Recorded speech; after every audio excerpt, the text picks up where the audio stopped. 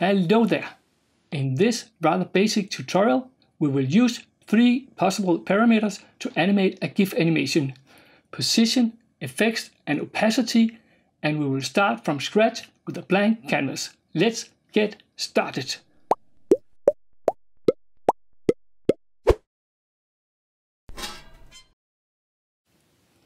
We go to File, New and choose HDTV 1080p same size as a YouTube video and click Create. We don't need guidelines, so we go to View, Clear Guides, and now it's time to make a perfectly blue sky. With the gradient tool selected, we click on the blue color, switch foreground to background by pressing X and choose a lighter blue. Now that the colors are in place, we drag a vertical line it's always from foreground to background, so be sure to have the lightest color as foreground. If we hold shift while we are dragging, the line will be 100% vertical. Now we have created a blue sky, time for a new layer, Command Shift N, let's call it landscape. I press D for resetting my foreground color to black and press B for brush. And time to draw a tree. If all our black lines are closed, we can easily fill them with a paint bucket tool, a green color for the crown,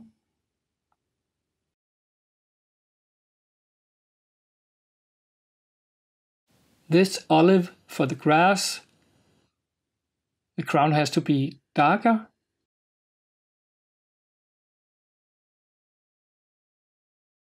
and some brown we select the background layer, all new layers will be placed on top of the active layer. Command Shift N for a new layer. Let's name it Sun. And with a brush, we can make a soft, round yellow sun. If you're new to Photoshop, the brush size you can easily control by Option and Control clicking while dragging sideways and up and down for the softness. On a PC, you have to right click on the mouse. Time to click on Create Frame Animation and if the timeline is not visible, find it in the Window menu or go to Workspace Motion.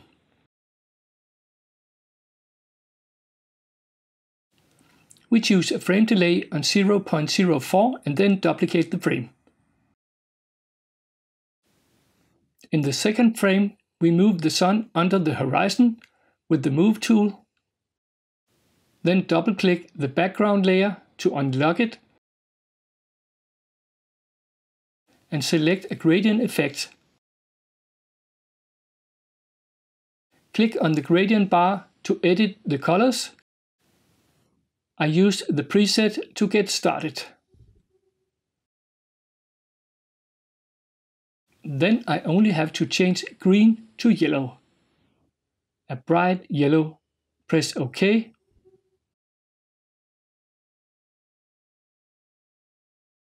tick reverse and OK again. The tree has to be darker too.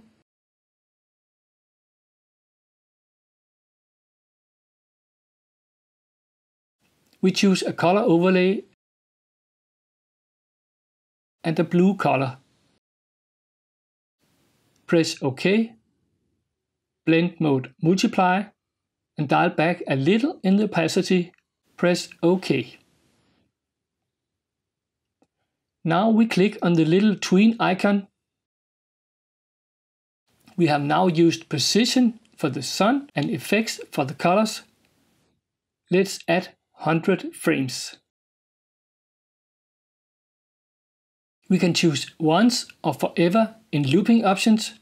I choose once and press play.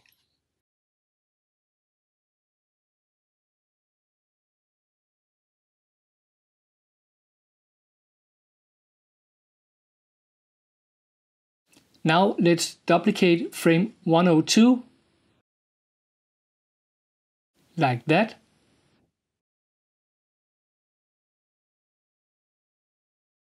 And make the sky darker with another gradient overlay.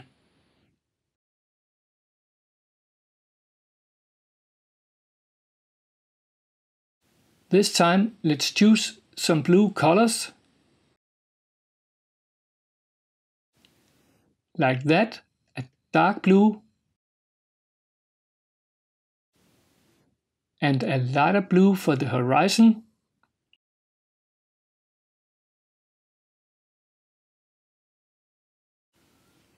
I think it should be a little darker in the top. Much better. And close the two windows.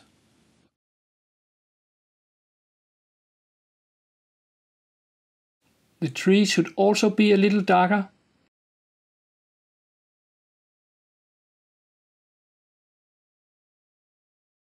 A color overlay and a darker blue.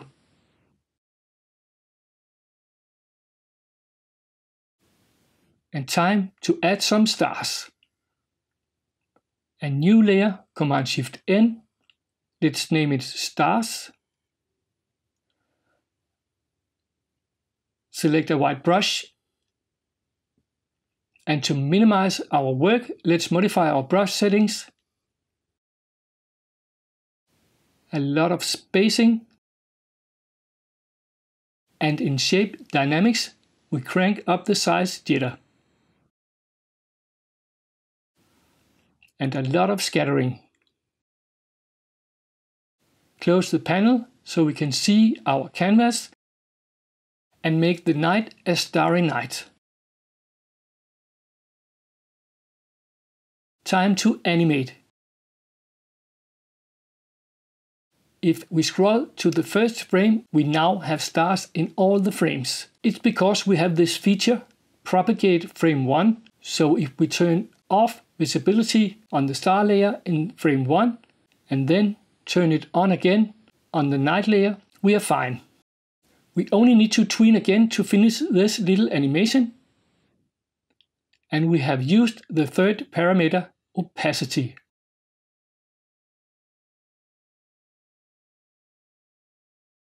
Let's play the animation.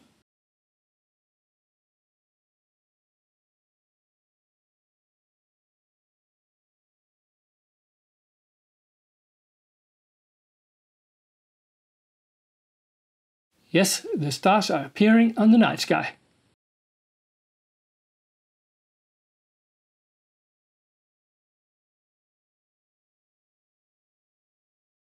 The last thing we have to do is export as a GIF. File, Export, Save for web.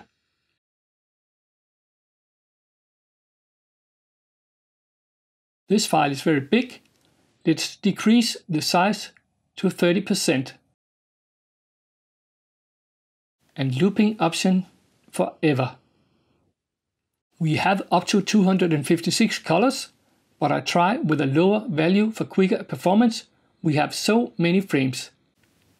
And diffusion, best for gradients and save. I name it GIF Basic, HTML and images. That way we can play directly in our browser. Let's try to open it in Chrome. It runs smoothly, but maybe something higher than 64 colors would be okay.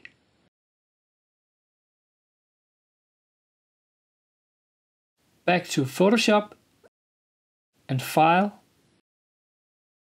Export, Render Video. Another way of saving the animation. I choose a YouTube preset but also the frame rate so it fits my other recordings in this tutorial.